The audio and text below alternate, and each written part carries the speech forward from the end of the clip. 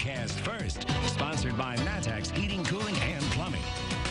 We've got temperatures that are right now in the upper 70s across central Illinois, 77 in Champaign, although it is 74 in Danville, 79 in Decatur and Lincoln, and still holding on to 80 in Mattoon. And from Gibson City and our Gibson Area Hospital and Health Services weather camera on our roofing dog it, we've got clear skies out there with winds that are very light. We don't have any gusts out there, and the winds themselves generally out of the southwest between about 5 and 10 miles per hour. So overnight tonight, it will be mild with temperatures dropping down in the 70s, and then once again for tomorrow, we're back in the low 90s. WCIA 3 News News starts right now. Now from WCIA 3 News. One mayor says she's trying to prevent a spike in COVID 19 cases, but she needs city council's help.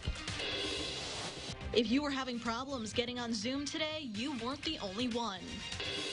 I saw this guy and his two kids were at the gas station. Police pledged to protect and serve, but one officer decided to go a step above that for a family in need. You're watching your local news leader. This is WCIA 3 News at 10. Students can be very creative in their gatherings.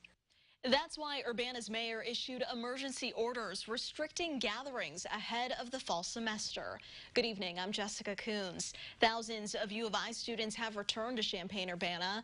Mayor Diane Marlin says she's trying to prevent a spike in COVID-19 cases, but she needs city council support to keep that ordinance in place. WCIA3's Jen Last joins us now. So Jen, what's the latest update from tonight's meeting in Urbana? Well, part one has been passed. The council voted six to one to pass the emergency order regulating bars and restaurants. The new order will require people to remain seated at bars and restaurants, wear face coverings when not eating or drinking, and to maintain social distancing. And Mayor Marlin says that she plans on releasing a frequently asked question list to different bar owners for that. Now, uh, the city of, of Urbana worked with Champaign on these legal orders uh, to make sure that they are consistent between the two cities.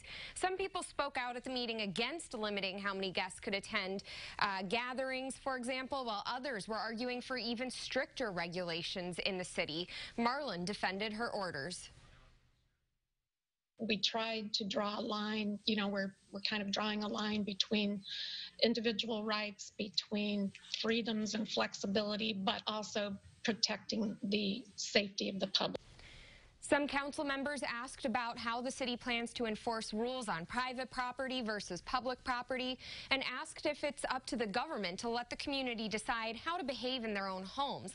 The city's legal team says a lot of the decisions came down to conversations with uh, public health and university officials about what will help the cities the most. Now, council members are still debating the other part of the emergency order. That one would restrict the number of attendees, social distancing, and the use of face coverings at parties and gatherings gatherings. They just voted to add an amendment to the emergency that would have to be discussed again in late September rather than stay in place indefinitely. Back to you, Jessica. All right, Jen, thanks so much for those updates tonight. Earlier in the evening, Urbana and Cunningham Township held a special meeting about money for social service programs. First Followers, Big Brothers Big Sisters, and Habitat for Humanity were among those denied funding. Officials said they had to deny some groups for turning in incomplete applications.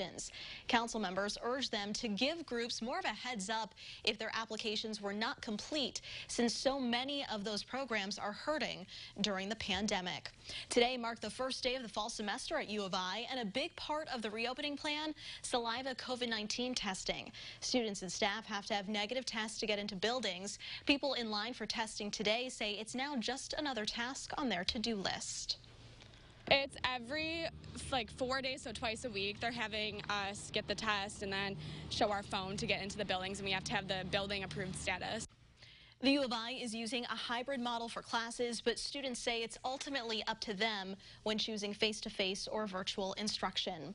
Students at the U of I and across part of the country were locked out of Zoom this morning. The video conferencing platform had issues around 8 o'clock. U of I's Technology Services Department started looking into the problem, and they found a solution for their students.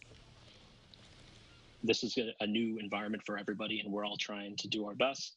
And um, you know, with every issue or disruption that comes up, that you know the university is committed to making sure that there is a way for students to learn, faculty to teach, um, and staff to do their work.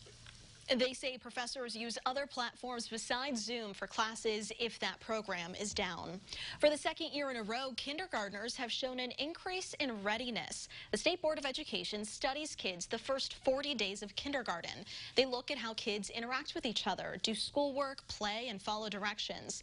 More than 118,000 students were observed last year. Nearly 30% showed readiness in the most important areas. So we look at three developmental do- domains. We look at social and emotional, we look at language, language and literacy, and math. And those are the three domains that we look at and uh, assess children's learning. The state also looks at the breakdowns across various groups such as low-income students, black students, Hispanic students, and English learners. Those numbers are on our website, WCIA.com. Taking a look at today's coronavirus numbers, Champaign County set a new high when it comes to cases. On the first day of classes at U of I, there are 68 new cases in the county. The good news, the county's seven-day positivity rate has stayed at 0.3% for the fifth straight day. There are 1,600 new cases statewide, bringing the total to more than 221,000. Eight more people have died. Illinois has seen more than 7,800 COVID-related deaths. A follow-up now, the city of Champaign is asking people for help in ending gun violence. Officials say shootings have killed two people and hurt eight others in the last two weeks. It's also resulted in property damage to homes, an MTD bus, and other vehicles. Officials say many of these shootings are targeting specific people and are a result of ongoing feuds. They're now asking anyone with information to come forward and share what they know with authorities. A Paxton man has been charged with predatory criminal sexual assault of a child. Brandon Irish is accused of assaulting a child under 13.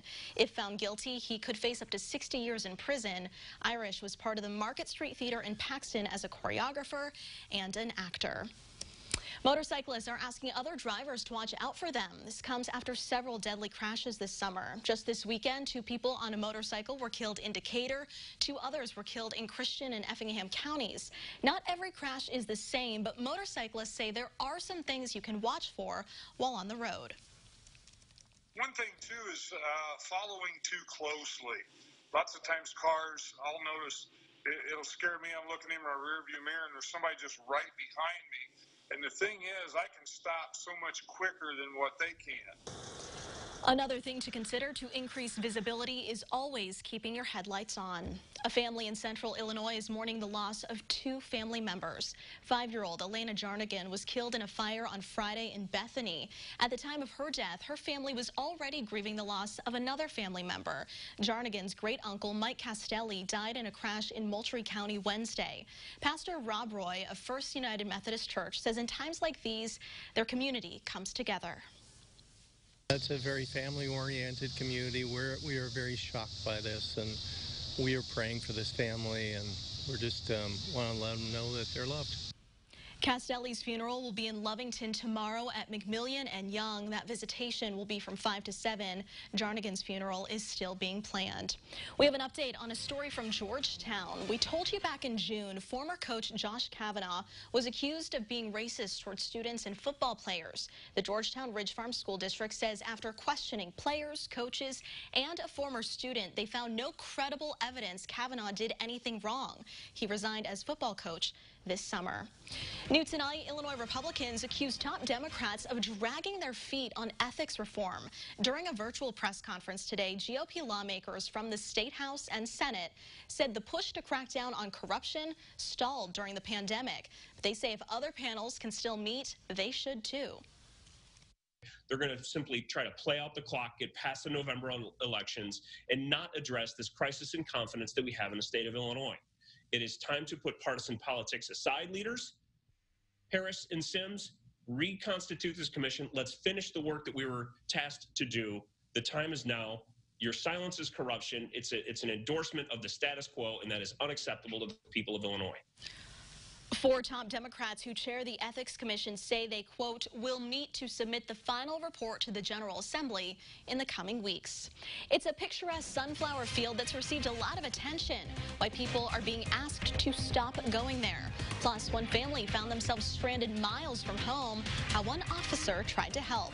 And later, there are now postseason plans for the IHSA, but it won't look like what you're used to.